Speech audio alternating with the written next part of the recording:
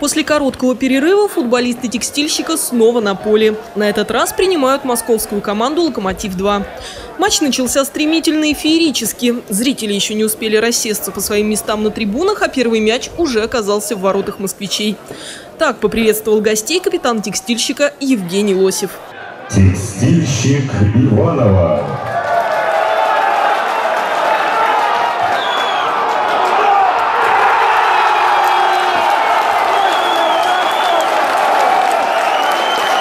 Спустя пару минут опять атака красно-черных и снова успех. На этот раз триумфатор Анзор Саная. Невероятно, но спустя еще несколько минут третий гол забил Иван Лукьянов.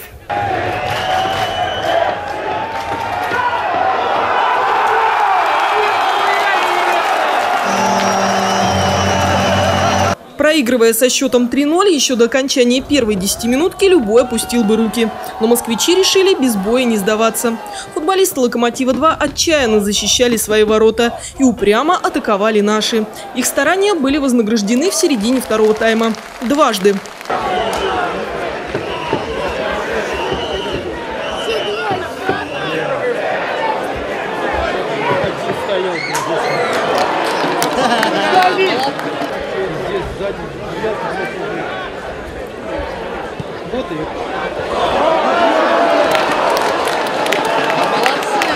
Итог матча, как и в пятничной встрече с Днепром, 3-2 в пользу красно-черных. Но даже у наших футболистов такая победа не вызвала особого ликования. Второй матч подряд проигрывать второй тайм – это тревожный звоночек.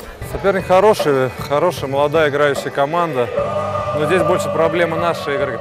Насколько хороший двоякое впечатление. Насколько хороший первый тайм, насколько плохой второй. Это наша проблема, к сожалению.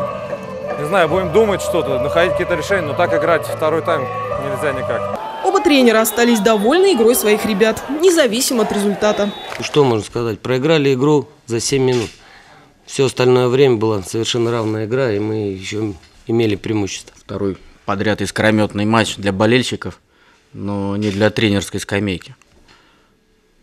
Тем не менее, это три очка, ребят поблагодарить за отдачу, за желание, локомотив, то, что мы думали и знали, мы увидели. Обученные молодые ребята с огромным желанием, с хорошей школой. Поэтому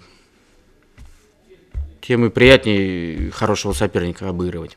Исход матча подтвердил лидерство текстильщиков турнирной таблице. Но это еще не все. Евгений Лосев, занимавший четвертое место в списке лучших бомбардиров первенства, теперь второй. Напомним, неоспоримым лидером списка с самого начала сезона является Анзор Саная. Наталья Романова, Андрей Семиволков, РТВ Иванова.